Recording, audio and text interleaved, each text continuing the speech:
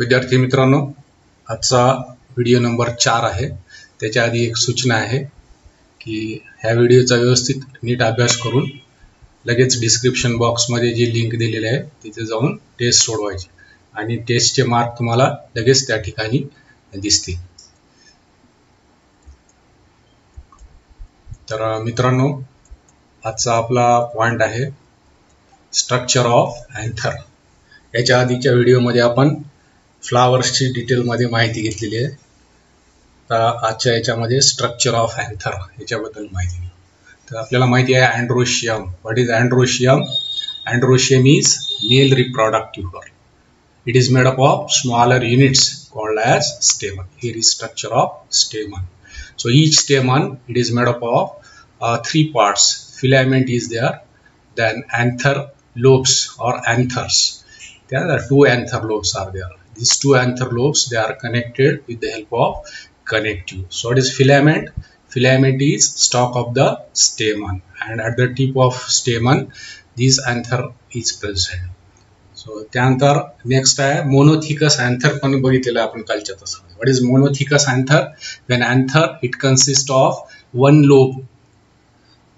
it is called as monothecous anther so in one lobe two pollen sacs are present तर एका लोबमध्ये किती pollen sacs असतात? दोन pollen sacs असतात. Pollen सॅक्सलाच दुसरं नाव आहे मायक्रोस्पोरेंजियम असं त्याला. है ना? Pollen sacs are also called as microsporangium and what is a dithecous anther काय? Dithecous anther means anther consist of two lobes ज्या अँथरमध्ये दोन लोब्स आहेत. त्याला म्हणायचं आहे डायथिकस अँथर आणि डायथिकस अँथरमध्ये काय असतं? की त्यामध्ये four pollen sacs are present इथे दिलेलं आहे बघा. हे कोणचं आहे? इथे it is a dithecous anther आणि त्याच्यामध्ये आपल्याला या ठिकाणी अशा प्रकारे प्रत्येक अँथर लोबमध्ये किती पोलन सॅक्स आहे?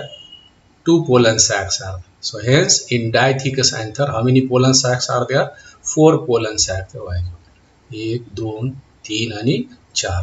So in dithecous anther four pollen sacs are present hence it is called as tetrasporangiate असं त्याला त्या टर्मिनॉलॉजी नीट लक्षात ठेवायची आपल्याला tetrasporangiate what is in by tetrasporangiate tetrasporangiate means four pollen sacs four pollen sacs are present in diathecus anther. And what is the function of uh, stamens or anthers uh, to produce pollen grains? आणि pollen ग्रेन्सलाच नाव काय आहे?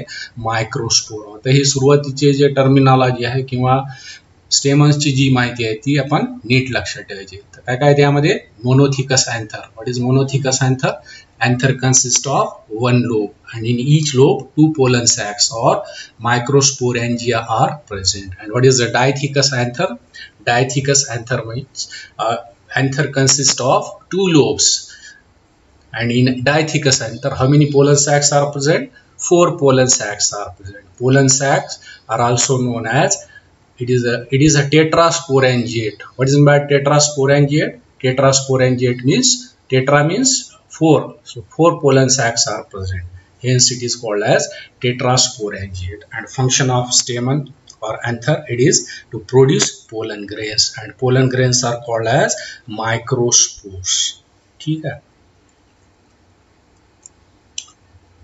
त्याच्यानंतर आपण actual T S of anther what is by T S T S means transverse section तर अँथरचा काय केलेला आहे? ट्रान्सवर्स सेक्शन घेतलेला आहे. त्याच्यानंतर ही आपल्याला अशा प्रकारे डायग्रामची कलर डायग्राम ही पुस्तकामध्ये आहे. आपण ती थोड्या वेळाने बघू. तर ही या ठिकाणी एक टी एस ऑफ अँथर म्हणजे ट्रान्सफर सेक्शन ऑफ अँथर अँथरचं काय केलेलं आहे? आडवा छेद घेतल्यानंतर आपल्याला हे अँथर त्याचं इंटरनल स्ट्रक्चर ह्या प्रकारे. तर अँथर हे डायरेक्टली असं एकदम डेव्हलप होत नाही. तर त्याचे काही स्टेजेस आहेत त्यामध्ये. वेगवेगळ्या सेल्स त्यामध्ये डिफरन्शिएशन आहे डिव्हिजन्स होत असतं तर सुरुवातीला इथे थोडंसं एक फ्लो डायग्राम दिलेली आहे आपण. है ना? जेव्हा अँथर हे कसं आहे? Immature anther what is immature anther म्हणजे अगदी सुरुवातीला जे अँथर आहे त्याला इमॅच्युअर अँथर किंवा ते कोणतं झालं?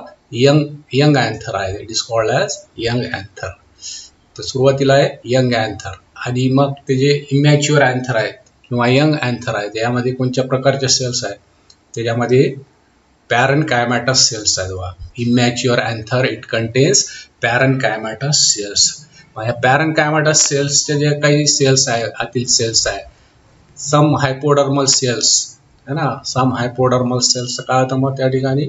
सम हायपोडर्मल सेल्सचं डिफरन्शिएशन होतं बघा है ना? लक्षात घ्यायचं सिक्वेन्स हे समजण्यासाठी अतिशय आवश्यक आहे सिक्वेन्स सो इमॅच्युअर अँथर किंवा जे यंग अँथर आहे ज्यामध्ये पॅरन कायमाटस सेल्स आहे त्याच्यामधले काही सम हायपोडर्मल सेल्सचं काय होतं? डिफरन्शिएशन होतं. ठीक आहे? डिफरन्शिएशन होतं त्याचं. आणि मग त्यांचं डिफरन्शिएशन झाल्यानंतर हायपोडर्मल सेल्सचं डिफरन्शिएशन झाल्यानंतर त्यापासून कोणत्या सेल्स तयार व्हायला बघा? आर्किस्पोरियल सेल्स तयार व्हायला नीट लक्षात ठेवायचं आहे कोणत्या सेल्स तयार व्हायलेल्या आहे आर्किस्पोरियल पुढच्या स्टेपमध्ये काय होतं? की हे जे आर्किस्पोरियल सेल्स आहे आर्किस्पोरियल सेल्स डिवाइड्स होतात त्याचं विभाजन होत असतं. So archesporial cells divides into two types of cells है ना? दोन प्रकारच्या सेल्स तयार व्हायला कोणकोणत्या सेल्स तयार व्हायला आहेत? इनर स्पोरोजिनस सेल्स व्हायच्या. आतल्या भागातल्या ज्या सेल्स आहे इनर स्पोरोजिनस सेल्स आणि दुसऱ्या कोणत्या? थोडेसे ज्या बाहेरच्या भागातल्या आहेत त्यांना आउटर प्रायमरी परायटल सेल्स असं याच्यापासून अँथरचे पुढचे भाग तयार होतात तर इनर स्पोरोजिनस सेल जे आहे हा त्यांचं रूपांतर कशामध्ये होतं? स्पोरोजिनस टिश्यू मध्ये आहे. लक्षात inner sporogenous cells are converted into sporogenous tissue आता हे इथे पण महत्त्वाचा पॉईंट आहे. स्पोरोजिनस टिश्यू जे आहे sporogenous tissue are also known as microspore mother cell त्यालाच दुसरं नाव आहे microspore mother cells microspore mother cells या कशा आहेत टू एन नावाने डिप्लॉइड आहे ते. आणि ह्या जे स्पोरोजिनस टिश्यू किंवा मायक्रोस्पोर मदर सेल आहे इट अंडरगोस मिओसिस है ना? त्यांचं काय होतं? मिओसिस पद्धतीनं विभाजन होतं. आणि एका मायक्रोस्पोर मदर सेलपासून काय तयार होतं? अशा प्रकारे मायक्रोस्पोर टेट्राड तयार होतात मायक्रोस्पोर टेट्राड मीन्स काय?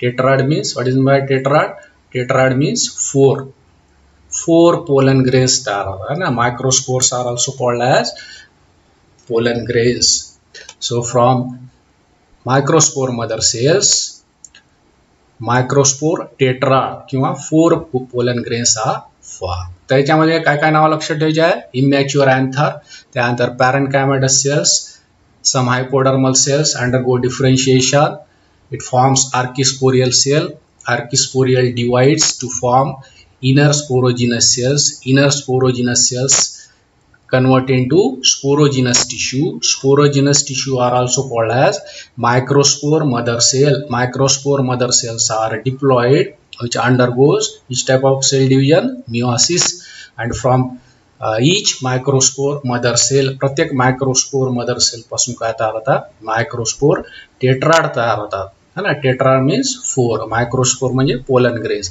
तर microspore tetrad means how many pollen grains are four it is four pollen grains are four from each microspore mother cell आणि आर्किस्पोरियल सेल्सचे जे दुसरी uh, दुसरा प्रकार दुसऱ्या टाईपचे जे सेल्स तयार झाले ना एक कोणत्या झाल्या होत्या?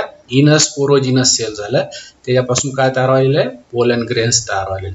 आणि जे outer primary parietal cells which are produced from कशापासून तयार झालेले आहे? आउटर परायटल सेल्स आर्किस्पोरियल सेल्सपासून तयार झालेले आहे. आउटर परायटल सेल्स त्याचं काय होतं? इट अंडरगोज डिव्हिजन त्याचं परत विभाजन होतं आणि त्याच्यापासून काय तयार होतं? अँथरची वॉल तयार होतं. अँथल अँथर वॉल लेयर्स आणि ह्या अँथर वॉल लेयर्समध्ये बघा किती लेयर्स आहे या ठिकाणी. Anther wall layers are four है ना? फोर लेयर्स आर देअर कोणकोणचे? फोर लेयर्स इथे फोर लेयर्स नंबर एक आहे इपीडर्मिस. इथे बघा इपीडर्मिस दुसरा लेअर आहे एंडोथेशियम मिड आणि तिसरा लेअर आहे मिडल लेअर आणि चौथं कोणचं आहे? टॅपेटम तर लक्षात आलंय पोलन ग्रेस आणि अँथर वॉलचे लेअर्स हे कशा पद्धतीने तर इकडे आपण परत डायग्राममध्ये बघू टी एस ऑफ अँथर है ना? टी एस ऑफ अँथर तर याच्यामध्ये आपल्याला दिसत आहे तिकडं स्पोरोजिनस टिश्यू आहे इथे. स्पोरोजिनस टिश्यू दिसत आहे सेंटरमध्ये स्पोरोजिनस टिश्यू मीन्स काय? त्याला दुसरं नाव काय? Sporogenous tissue are also known as microspore mother cell microspore mother cells are diploid which undergoes meiosis and produce uh, microspore tetrad म्हणजे एका मायक्रोस्पोर मदर सेल पासून किती पोलन ग्रेन्स तयार व्हायले? फोर पोलन ग्रेन्स चार पोलन ग्रेन्स तयार व्हायले. इथे आहे स्पोरोजिनस टिश्यू लक्षात आलं? स्पोरोजिनस टिश्यू ह्या कशा पद्धतीने तयार झालेल्या आहे स्पोरोजिनस टिश्यू त्याच्यानंतर अँथर वॉल बघितले आपण अँथर वॉल अँथर वॉल कशापासून तयार झालेले आउटर प्रायमरी परायटल सेल पासून. So it is a anther wall it is a differentiated into किती लेअर्स आहे बघा त्याच्यामध्ये? चार लेअर्स आहे. एक आहे इपिडर्मिस सर्वात बाहेरचा आहे. त्याच्यानंतर त्याच्या खालचं एक लेअर आहे एंडोथेशियम आणि त्याच्यानंतर आहे मिडल लेअर आणि त्याच्यानंतर आहे सर्वात आतलं लेअर कोणचं आहे? टॅपेटम आहे. ठीक आहे? तर हे असं आहे. आणखी डिटेलमध्ये घेऊ आपण.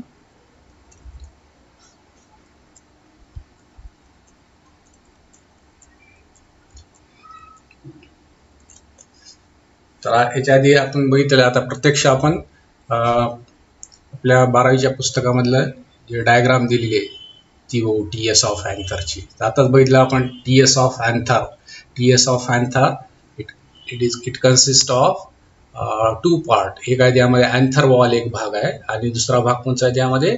पोलन सॅक आहे. सो अँथर वॉलचे आता बघितले किती लेअर्स आहे anther वॉलचे so there are four layers of anther wall इथे आहे सर्वात इथे कोणचं पहिलं लेअर कोणचं आहे? Epidermis so what is epidermis epidermis is outermost layer आहे. सगळ्यात बाहेरचं लेअर आहे epidermis and this epidermis it is made up of tubular सेल्सनी बनलेलं असतं ते. आणि त्याचं फंक्शन आहे प्रोटेक्टिव्ह इन फंक्शन आहे. प्रोटेक्शन देण्याचं काम करतं. अँथरला प्रोटेक्शन देण्याचं काम कोण करत असतं? इपिडर्मिस करत असतं. तर हा पहिलं लेअर आहे. First first and outermost layer made up of tubular cells it is protective in function हे झालं इपिडर्मिस आता इपिडर्मिसच्या खाली कोणतं लेअर आहे? इथे दिलेलं आहे बघा डायग्राममध्ये. इपिडर्मिसच्या खालचं जे लेअर आहे त्याला म्हणायचं आहे sub epidermal layer sub epidermal layer कोणचं आहे? एंडोथेशियम है ना? Sorry is endothecium endothecium is sub epidermal layer it is present कशाच्या खाली आहे ते? बिलो द इपिडर्मिस इपिडर्मिसच्या खालचा जो भाग आहे किंवा लेअर आहे त्याला एंडोथेशियम असा आहे. सब इपिडर्मल लेअर आणि it is made up of कशाने म्हणलेले आहे ते? इलॉंगेटेड सेल्सनी बनलेला आहे. ठीक आहे? ते झाला दुसरा लेअर कोणतं आहे ते? एंडोथेशियम त्याच्यानंतर तिसरं जे लेअर आहे ते आहे मिडल लेअर असं असतं. तिसरं लेअर आहे मिडल लेअर मिडल लेअर कोणत्या ठिकाणी हवा middle layer middle layer it is below endothecium एंडोथेशियमच्या खालच्या भागाला जो लेअर आहे एंडोथेशियमच्या खाली तो आहे इथे आहे मिडल लेअर दिलेला आहे. बिलो द एंडोथेशियम कोणतं लेअर प्रेझेंट आहे? मिडल लेअर आणि हे कशाने बनलेलं आहे? It is made up of one two two layers of cells एक किंवा दोन लेअर्सनी बनलेलं आहे. आणि हे काळानंतर मग ते डिसइंटिग्रेट होऊन जातं ते.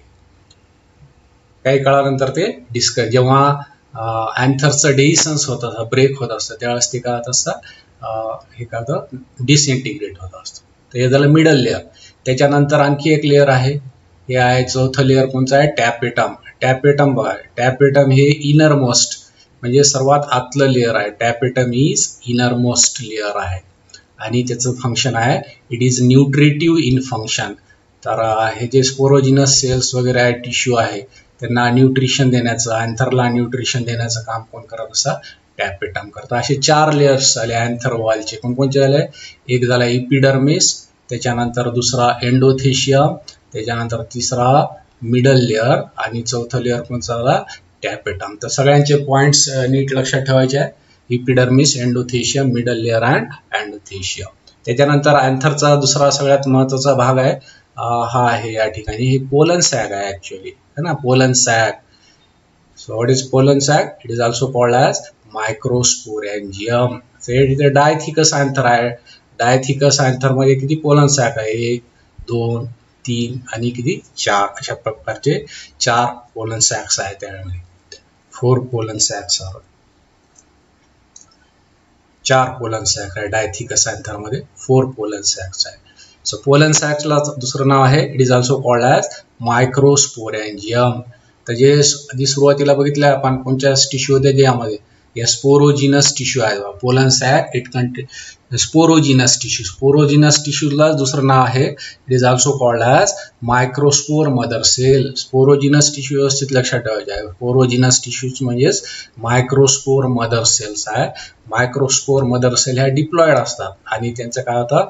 मिओसिस पद्धतीनं विभाजन झाल्यानंतर त्याच्यापासून मायक्रोस्पोर टेट्राड म्हणजे एका मायक्रोस्पोर मदर सेलपासून किती पोलन ग्रेन्स तयार व्हायले फोर कोलनग्रेस चार कोलनग्रेस राहतात अशा प्रकारे टी एस ऑफ अँथर आहे. T S of अँथरमध्ये anther it consist of T S transfer section of anther it consist of two part anther wall and pollen sac anther wall it is made up of four layers epidermis endothecium middle layer and tapetum second part आहे त्याचा pollen sack किंवा त्याला मायक्रोस्कोरेनजियम असं आहे ठीक आहे? मायक्रोस्पोरेंजियममध्ये कोणत्या सेल्स प्रेझेंट आहे sporogenous tissue or it is also called as microspore mother cells तर अतिशय महत्त्वाचे आहे. स्पोरोजिनस टिश्यू किंवा त्यालाच म्हणायचं आहे.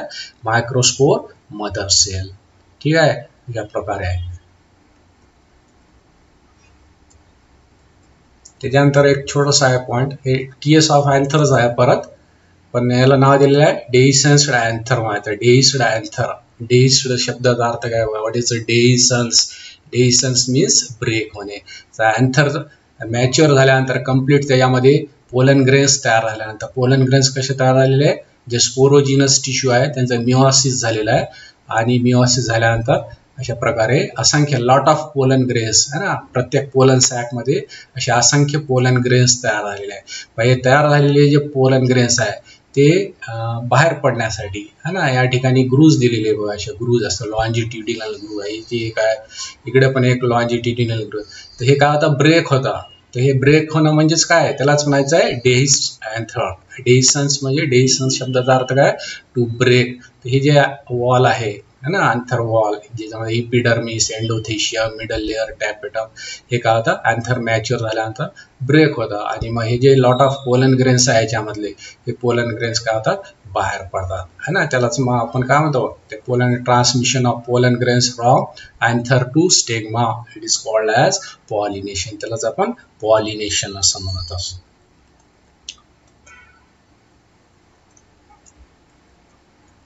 थँक्यू